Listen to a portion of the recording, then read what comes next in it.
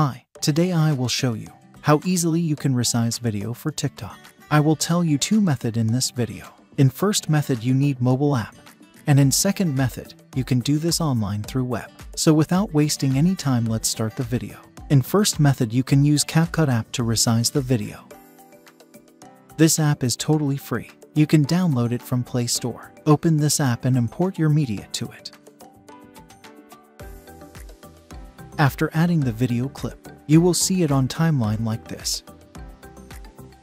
On the bottom you will see options. Slide to the left until you see format option. Tap on it. Now you will find many format options here, but you have to select 9 by 16. After that now your clip will show like this. Now use two fingers on screen and increase video height and width as much you want. You can add text to your video in this app. Also you can add music, animation and transitions. And if you want to split the clip and change its position you can easily do it. When you think your work is done, simply select output format and tap here to export the video. After exporting it will save in your mobile device. It will also show you options to directly share to different media platforms. If you want to share you can simply select the social media app which you want.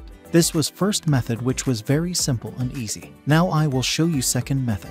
If you are looking for different solution through web then here is best method to resize the video. Through FlexClip you can easily resize video for all social media platforms. It has much more to offer you. First of all you need to sign up on this website. I already have paid account for this website. In free account you can use limited resources. But don't worry you will be able to resize your videos. After sign up, now click on start from scratch. Then select timeline mode. it will open project timeline for you. Now here you can easily import your local videos. I have paid account so I will use stock media.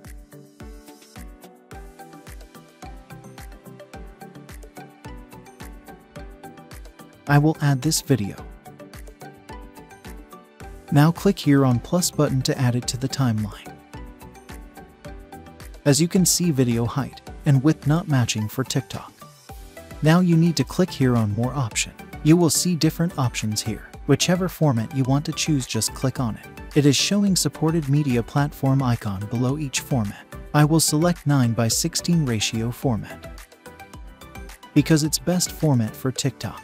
After selecting format, now resize and fit this video as you like. You can also split and add more videos if you want. Adding music and text in FlexClip is so much easy. If you want me to make more video on FlexClip let me know in comments below.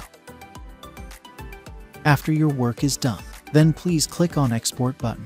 In free account, you will be able to export video in 480p. If you found this video useful then please hit the like button, share it with friends, and don't forget to subscribe the channel. Thanks for watching the video. I will see you in next video till then goodbye.